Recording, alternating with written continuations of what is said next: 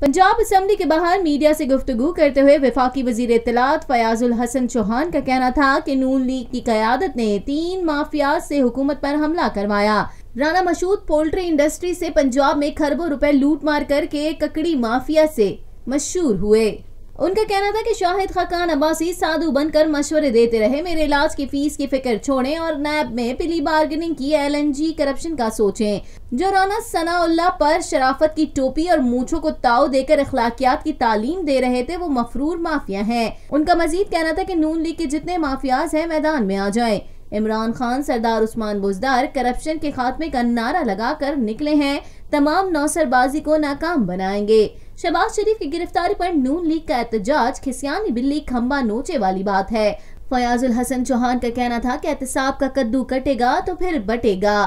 ہماری حکومت کسی بھی طرح نیب اور سپریم کورٹ میں کوئی رکاوٹ نہیں کھڑی کی جائے گی۔